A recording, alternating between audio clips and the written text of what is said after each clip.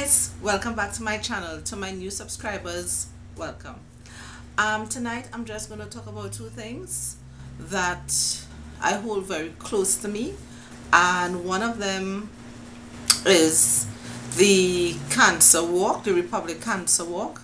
Um, trinidad and tobago cancer society hold it every year and this year it is going to be held on the 27th of october around Queen's Park, Savannah, as usual. We only have it at two places. We have it at Tobago and at Queen's Park, Savannah.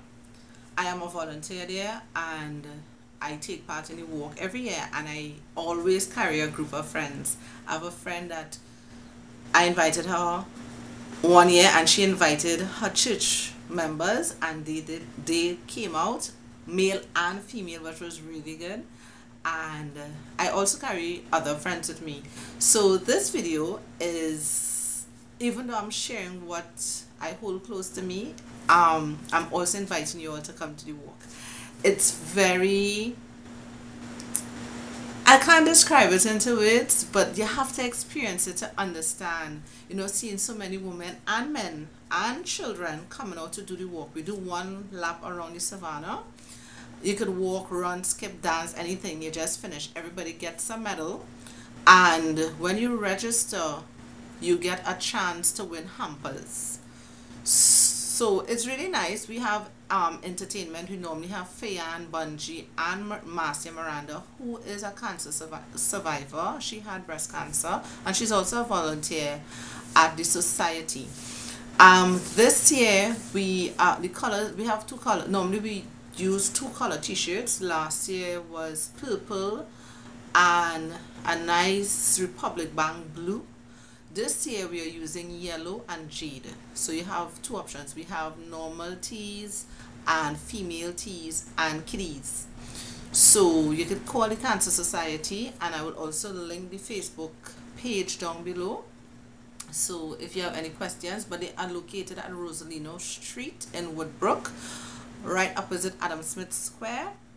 And you could get your t-shirts there. You could call and speak to Anne-Marie is her name and she will give you all the details. And basically that's it. So I'm inviting all of y'all Trinidadians who are viewing my video right now to come out and support. I mean as females we have breasts and any one of us could be diagnosed with breast cancer. And it's really heart rendering to see so many people coming out to support our cause. I mean because we also have things on sale that the money goes towards cancer research and to housing people who are in the final stages. So it's really nice and you build friendships and relationships and you know it's like every year you go you see the people and say hey you going you know last year so yeah, see you come out this year you know and conversation starts up and you know people become volunteers you can invite them and you know bonds happen and it's just a real nice family. Early on in the morning they will have um, screening pap smear and breast exams at a cost of course. Some things are free. Um, they will be doing blood pressure you know like a whole little health fair. And as I said there will be things on sale. So I am tagging all YouTubers of Trinidad to come out and support. We could probably do it as a group. I don't know. And I'm also tagging my subscribers. To come out and support. I know for some some people might say too far but I mean if if if you're former group you all could hire Maxi because they could park alongside. I mean it's, it's a really good cause and I assure you you'll have fun. Real fun. You're gonna see people that you haven't seen for a while and I'm guaranteeing that I mean we have a lot of giveaways Gatorade Yoplait yogurt um different things that you can sample you once you finish the race you get a medal and you get a nice seven seas bag. Those who finish, you know, the race within half sec um minutes, you know, get a bigger bag, and those like myself who normally finish in like 49 minutes, 55 minutes. Yeah, I don't take the hour because I walk, and plus my son is with me. I always carry him here every year. He's four now, and he have been to four. Yeah. There was one time he was a baby and he fell asleep no, uh, he wasn't a baby. He was about two years old, and he fell asleep, and I had to walk with him on my shoulder from the beginning till the end, and he woke up at the end of the race. You know, right? So we were taking turns and um, when we were walking, taking turns and holding him because that child was solid. So if I could do it and finish, anybody could do it and finish. And it's not about winning, it's just having fun and doing it for a cause. Know that you came out and supported a cause. Right guys? So I really hope I see a lot of you inbox me and let me know that you are coming. And I will try to meet up with you guys. And you know we could probably walk together as a group. Just let me know that you're coming. And I will really really appreciate it because it will mean a lot to me. Because I go every year as I say and I normally take part in the Scotiabank walk. But this year I didn't take part. I had some stuff so I could not participate in that so with all that said guys I hope I see each and one of you all down there on Saturday the 27th at 3 o'clock. I'll be there my son will be there and a group of my friends will be there. Alright guys the other thing I needed to talk about was ALTA for those who don't know ALTA is um a program a voluntary program that helps individuals to read and write um I don't know if a lot of you all know but in Trinidad and Tobago there are a lot of people who are unable to read and write. Many of them very very very very very very young and they use thumbprint because some of them can't even write their name. And for those who could write their names it's only their names they could write. And um, there are different levels you know and there are those who could read to survive in society but some things you know they could write their name know where they live write that but you know street signs labels and stuff is very hard for them. I'm a volunteer there. I tutor and it's very nice seeing somebody at let us say at 8% they came in literacy and then they leave with let's say 60 um, there are different levels of ALTA and you know if you don't perform well in level 1 we cannot promote you to level 2 and you know sometimes we may promote you just to see how you can handle it. And then when you reach at level 2 we may keep you and not move you up to level 3 because you haven't come up to standard you know. Um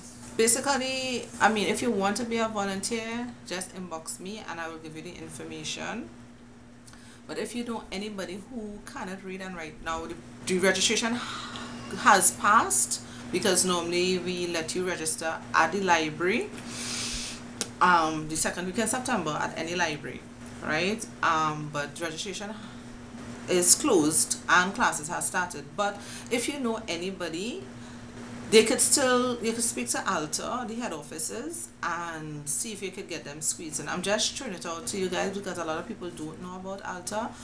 But I have seen so many people benefit from Alta. I mean, a lot of people drop out because of due to family lack of family support, you know, and I, I just want to highlight, uh, you know, to you guys that people are illiterate and sometimes people are ashamed to tell you. But if you notice it don't make fun of them you know assist them. It's not about making fun because you know it, it kind of lowers your self-esteem you know. And if you could assist them in any way you can but don't make them out. As we just say in Trinidad don't make them out and you know belittle them.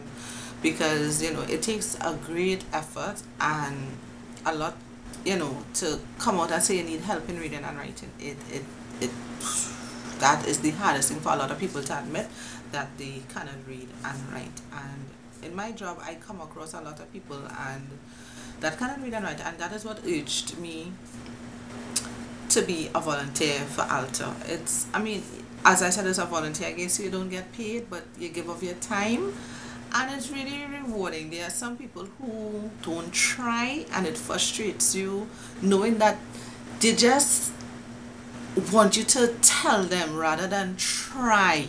They're not trying, but there are those who they try, they go home, they do their homework, they try, you know, they will come, miss, I do this, you know, tell me if it right now, please. They come early before class and, you know, as much as you want to work with them, you also have to work with the ones who you know a little slower. You have to put effort in them. So if any of you all guys want to be volunteers just let me know. I will send you the link.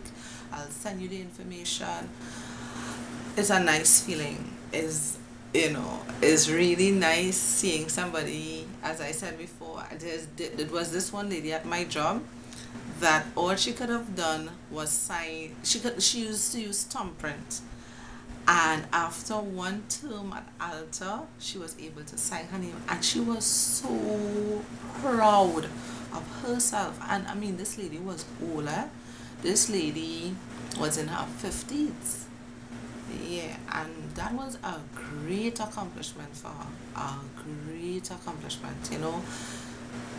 And it's really heartwarming to see the joy on somebody's face when they have accomplished something. It's really nice. But I don't know, I'm just highlight, I'm just doing this video to highlight information and also to highlight that we have an active program in Trinidad and Tobago that deals with people who cannot read and write. So if again, if you want to be a volunteer just let me know and I will hook you guys up. Right? So you know just assist somebody in you know if you come across somebody assist somebody no matter how little it, it makes a big difference.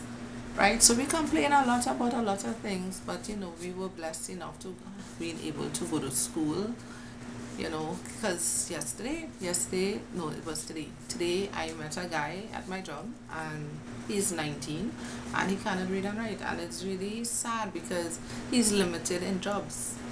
You know i mean we could always say i didn't tell him to study his work. It's easy for us to say but none of us know his circumstances you know his home life you know if his mother was ill and he had to stay home to see about her you know, which one was more important. If his father was beating on the mother and to protect her, he stayed home. You know, nobody knows. I mean, I know, but, you know, so don't judge somebody, you know, and say all of us had equal opportunity and it's what you choose to do. Yes, that is true. But everybody, circumstances beyond financial is different. So, and again, is what we deem as individuals, what we deem as importance his family life to him was more important than his education. So don't judge people when they cannot read and write or they approach you, miss, you can help more with this. And don't, um, how to put it, you know, if somebody approach you, miss, don't feel you're better than somebody when, you know, well, you know, and you're telling them the word or whatever, don't feel, don't give them a little attitude because don't be little to them, they're still a person, no matter what, who they are, what age they are they're still a person and everybody have something called pride even though it's a deadly sin we all have pride and we all hurt so you know i just doing this little video and sharing a part of me with you because a lot of you all well none of you all know what I not none of you all know my job and then none of you all know that I volunteer at Cancer Society no ALTA. so I'm just sharing a part of me as well and trying to wrong some people to to volunteer. It's rewarding for self, you know. So yeah, and I'm going to end my video here because it's already 13 minutes, 13 minutes, 38 seconds. So again, guys, be safe on the Nations Road. Be careful where you at. Don't matter if it's an area that you're accustomed to. Please be for vigilant. Um, I think I'm gonna make a next video of why I keep saying that. But yeah, something happened recently so yeah. So just be vigilant on where you are and you know life is precious and always tell your family how much you love them because you don't know you know we see them anymore we don't know what will happen in the evening and it's a very scary feeling you know. So thank god for life and you know everything else will fall into place. Okay? So keep safe and see you guys on saturday the 27th of october at 3 p.m queens park savannah. Bye